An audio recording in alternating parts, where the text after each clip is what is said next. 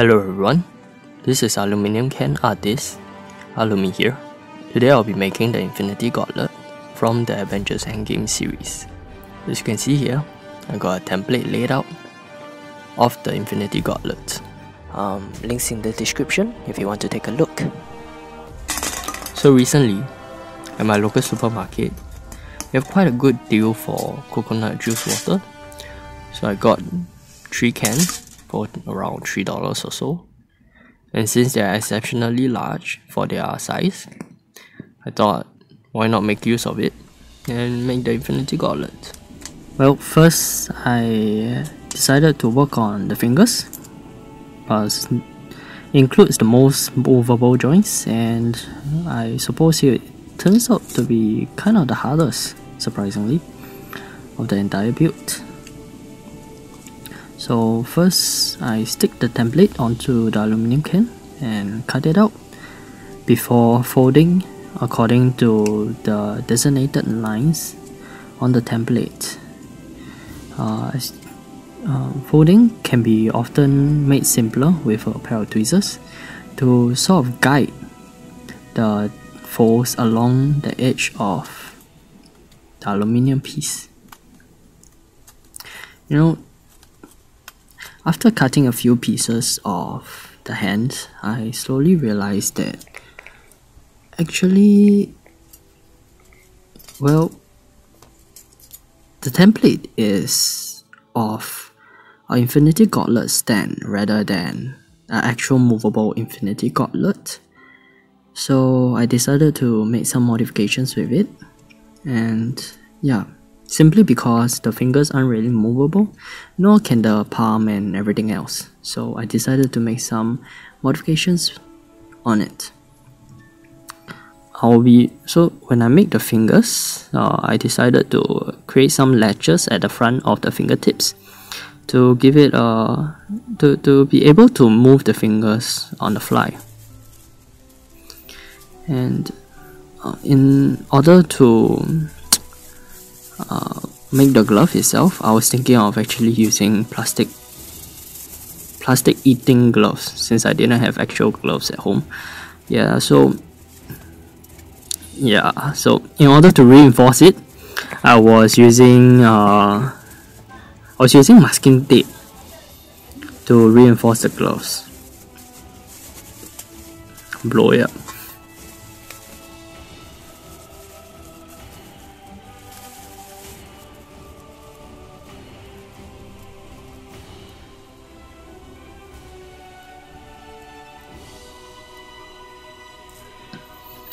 And that's the creation of Mr. Hand.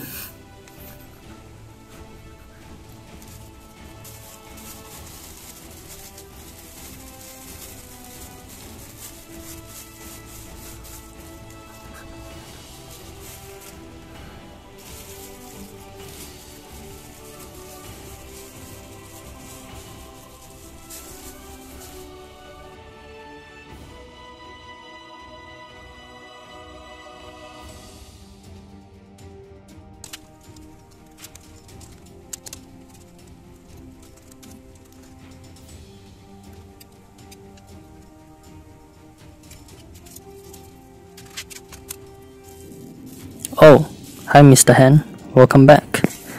So, now we'll be pasting the each individual um, pieces onto the glove to see whether it actually can just all come together in one piece. Uh, well, after piecing everything together, well, after gluing everything onto the plastic glove, I realized it's not really a good idea. I can't super glue the pieces onto the plastic glove because it will melt the plastic.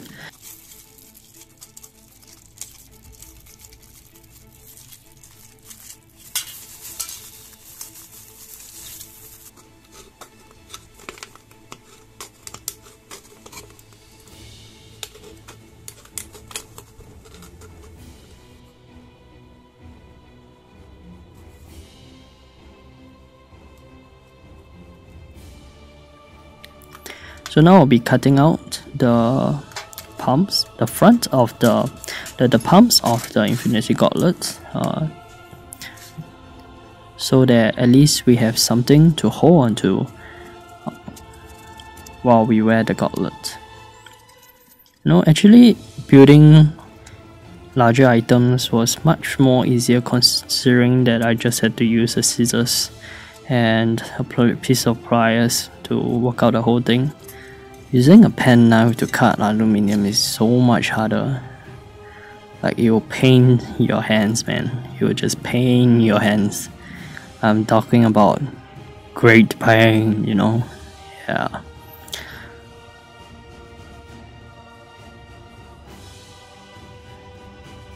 So now I'm cutting out actually the back of the hand. It's actually slightly a bit too long for my hand, I suppose. Hmm. Okay, maybe it's time for some modifications later.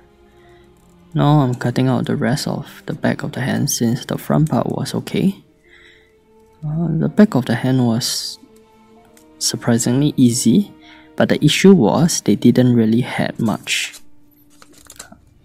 Ink Sigma or the, the kind of course design uh, on the god on the template itself. So when I paste everything together, it came out to be just plain yeah plain plain aluminum back piece which I didn't really like of course because their designs were all printed onto the piece of paper so it was quite easy for them to sort of have the design already out but I wanted I actually wanted the 3D style of the design so yeah. Uh, I I'm sticking up all the pieces together first to test it before sort of committing into it and super gluing the whole thing together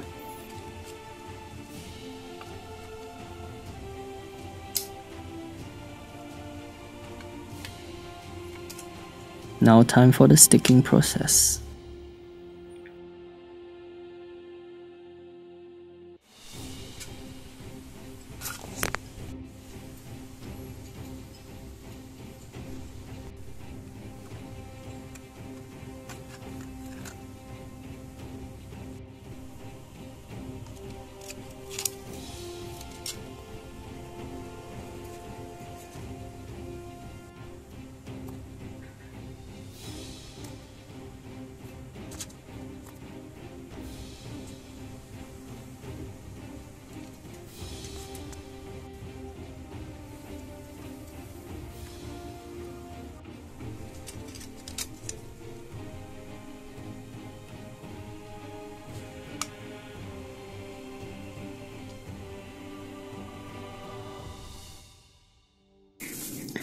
Phew, that was fast and intense.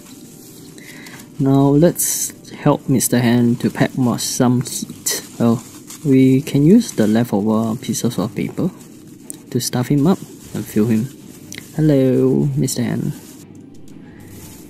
Okay, so now time for the 3D pop-up design that I was mentioning before.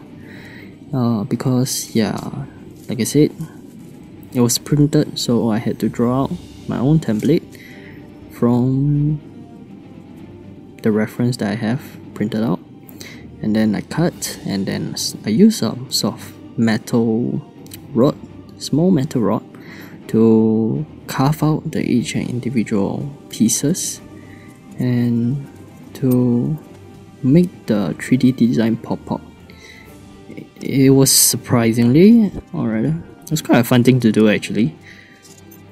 Like the result came out surprisingly better than expected. Much better than expected. Anyways, Thanos?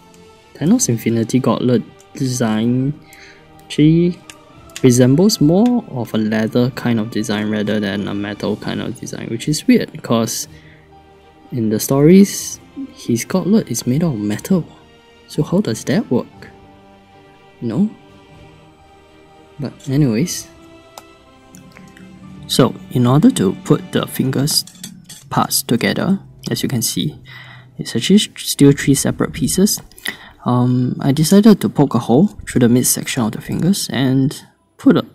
I bought a box of paper fasteners to insert each and every one of them into the holes, so so that you so that you can see the result is actually quite good.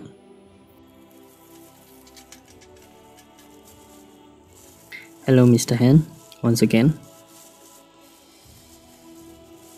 Okay, let's put you into the cradle first.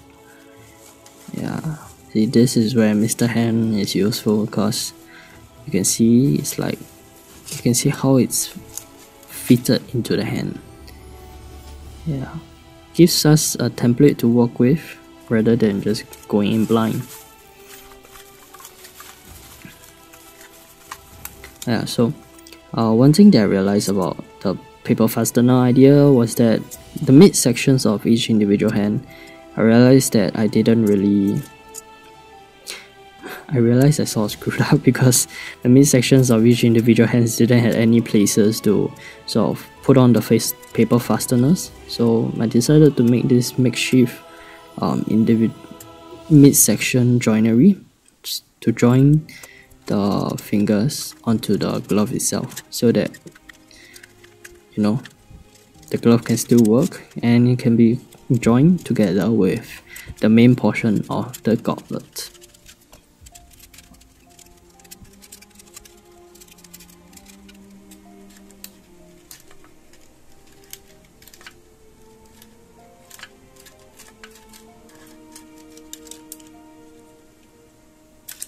Man, the step still doesn't work. Using a diamond file is surprisingly helpful in this instance because like you can just poke it through.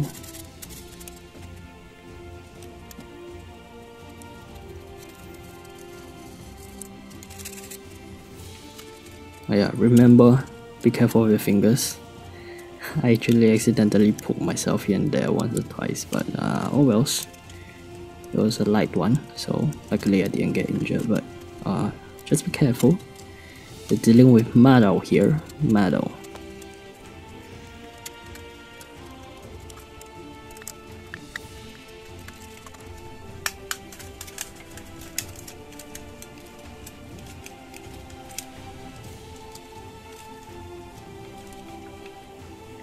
yeah okay time for a quick drink. Boost DDD boost in energy. Time for a quick drink, boost in energy. Uh, let's just use the can once again. The natural choice. Yos. Feel I'm promoting for them, Lamau. What else? If you have pieces that are smaller and you want to be able to see it better and like sort of stick the pieces closest to the edge, closer to the edge, uh, you can use this method of shining the piece under a, under a light so that you can see the pieces better.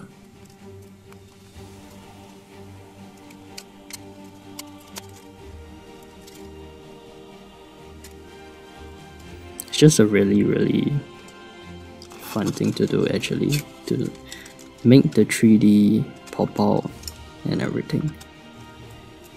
So satisfying once you're able to see the 3D pop out actually popping up.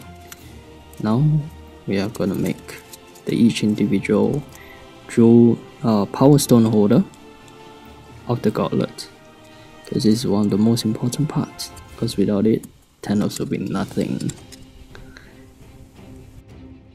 Sticking the power stones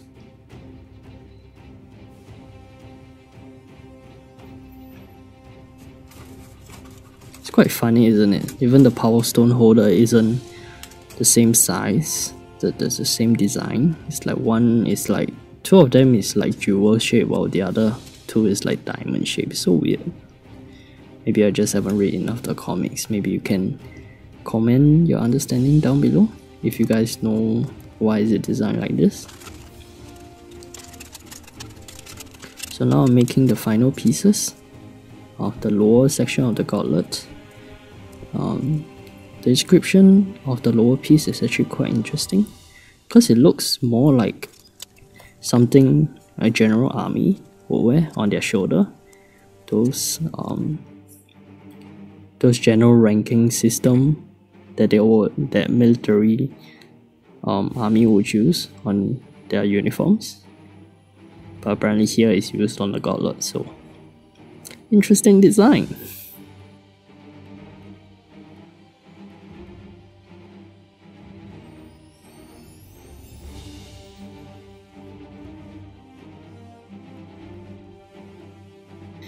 Order to join the whole gauntlet together, I actually used two random strips to sort of stick the whole thing together to just be able to still move each of the individual parts of the gauntlet but yet um, hold the whole thing together.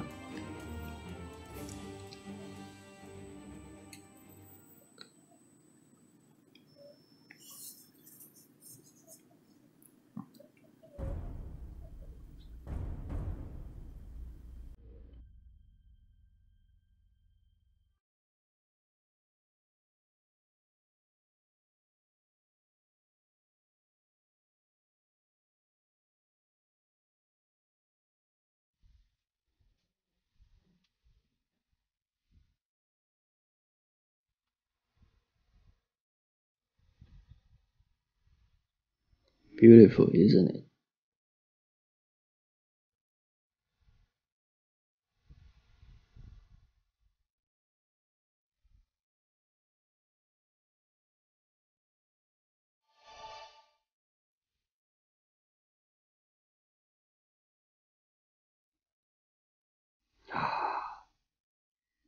Finally, with the power of the universe, I can do whatever I want.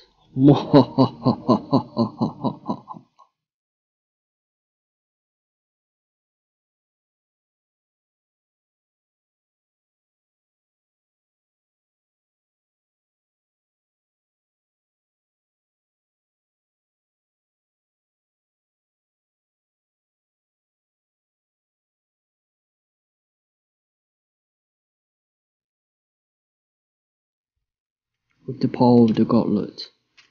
Remember to like, comment, and subscribe.